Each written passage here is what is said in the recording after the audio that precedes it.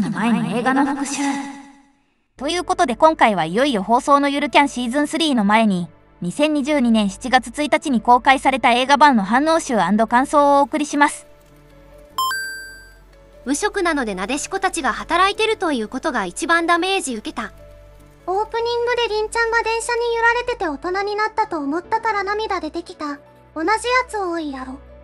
序盤で泣きそうになるのちょっとわかる。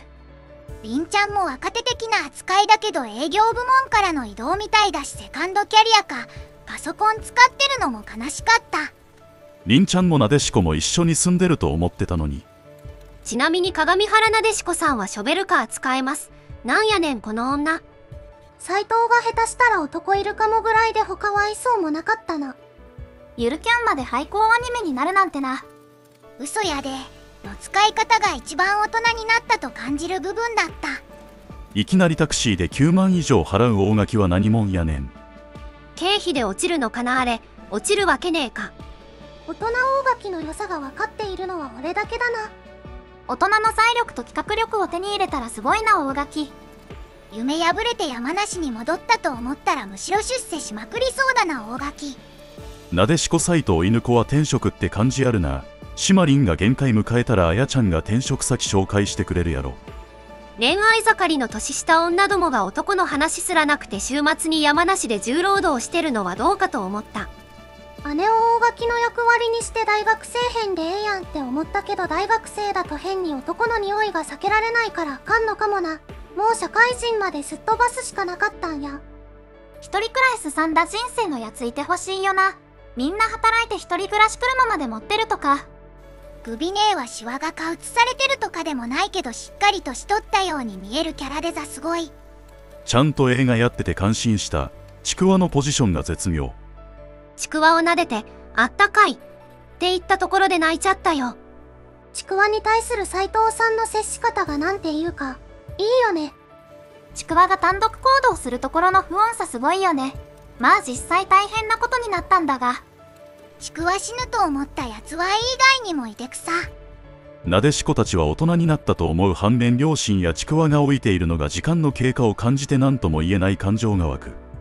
ままたちも透明で見るとシワの影一つでもまあまあ年齢を感じる。じいちゃんとちくわに微妙に死の匂いを漂わせてたり親世代には全員死は足してたり人生の不可逆さを入れ込んどったな逆に考えればあの時代までちくわもじいさんも元栖湖の人も存命が内定したと言える。ふらっと差し入れ持ってきたついでに若い子に DIY を教えられる岡崎さんみたいになりたかった。なんかすごく長く感じたわ。日常系アニメで2時間だからしょうがないけど。大人化して状況説明せなあかんから無駄に時間かかるねん。いろいろと賛否両論っぽい評価だな前はありやと思ったけどこれはゆるキャンでやる話ではないという否定側の意見もよくわかる。高校の時から何年後かって明言ないよね。最後から会ったのは3年後って言ってたけど。ないけどちび犬子が大学生になってるから9年10年くらい経ってそう。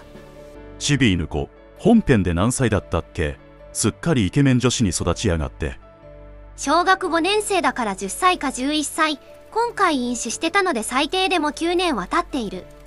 全員は社会生活で心に何かしら抱えてて純粋にキャンプを一番に楽しんでた時代は戻ってこないんやと考えるとなんか切ないな。大人になれよって言われてるみたいで辛くなるな。社会人歴約10年ぐらいと考えたら地元の友達との関係って普通にこんな感じの距離感になるんじゃないかな昔からの友達関係はよほどのことがない限り今よりこの先で近くなることはないしな。一旦離れた中で再び集まるというのをうまいこと表現していると思う。キャンプをするアニメじゃなくキャンプ場を作るアニメだったとは。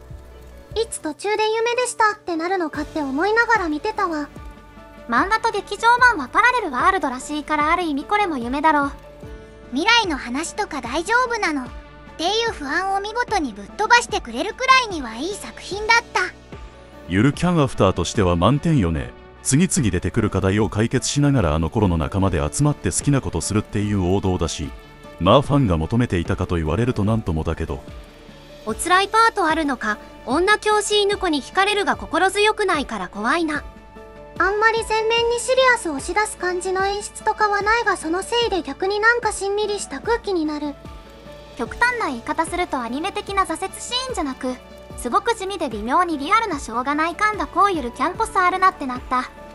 困難はあっても敵や悪意はない作品でよかった。これは本当に大事なことだと思った。悪意なしにどうやって障害を設けるのかの答えがドキ発見だったのは本当にうまいと思う。その時発見も本当に山梨あるあるだからよく練られた話だと思う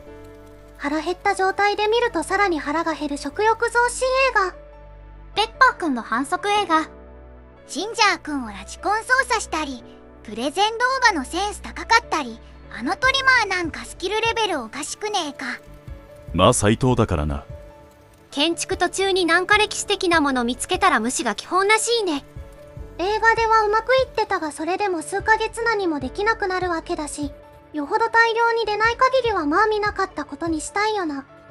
工事が止まる上に出土物は公共の財産となりおまけに保証はなし。そりゃあ黙って埋めるは普通。これ原作終わってからの映画やったらきつかったかもしれんな。コンテンツを終わらせるための作品になってた。アニメ版の完結編って位置づけだろこれ。3期で制作チームが総入れ替えになってるんだからもともと3期作る予定もなかったんだろうしな原作の緻密なスケジュール崩さないためにあえて未来の話にしたそうだから続きはいくらでもできる。そういうとこが作者うまい。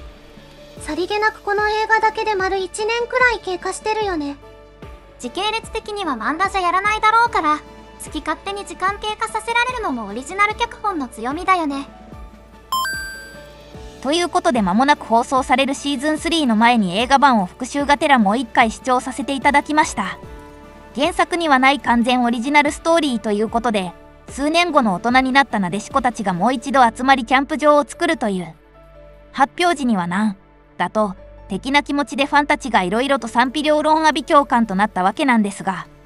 蓋を開けてみればちょっとビターなエッセンスを加えたゆるキャンって感じで結構高評価だったんじゃないかと記憶しています。まあ中には受け入れられないファンもいるようですけど逆にこれをお出しされることでまだまだ原作は続くと思いましたけどね。私も正直最高に面白かった。ってわけではないけどなんていうか大人ほど心にしみる作品だったんじゃないかなと。大人になるということは酸いも甘いもいろいろとあるということで学生時代でいつもやってた集まってたことがなかなかできなくなる。けどそういう中でもやっぱり集まればゆるキャンなんだね。っていうのをめちゃくちゃうまく描かれてた映画だったと思います。特に印象に残ったシーンがキャンプ場計画が一旦頓挫してしまいシマリンとナデシコが温泉に浸かるシーンのやり取り。シマリンが大人になったら何でもできると思ってたけど結局できないこともある的なセリフから。なでしこが意種返しのごとく大人にしかできないことがある。大人から子供へのバトンタッチができるみたいなのが泣けました。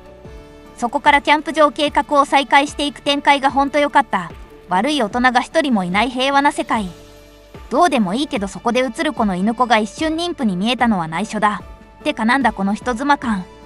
犬子は地元の小学校の教師をしてたんですがそこが平行になるくだりもなんかめちゃくちゃ喪失感がありましたね。しかし誰かも言ってましたがシマリンと大垣は仕事みたいなもんだからいいけどあとの3人はこれ休み返上して手伝ってるんだよね。すごくない？バイト代かなんか出たんだろうか。ボランティアでやってるとしたらマジで人として尊敬する。というわけでこの映画を経てまたまた原作準拠の3期が始まります。始まる前から話題となっていた制作会社の変更でキャラデザが結構変わっているという懸念材料がありますが PV 見る感じ確かに変わってますけどそんなに大騒ぎするほど変わってるかってのが正直な気持ち。まあここでいろいろ語っててもあれなんで3期1話の感想の部分で大いに語るととします。というわけでいよいよ4月4日からシーズン3スタートです。以上最後までご視聴ありがとうございました。また次の動画でお会いしましょう。君の私との約束です。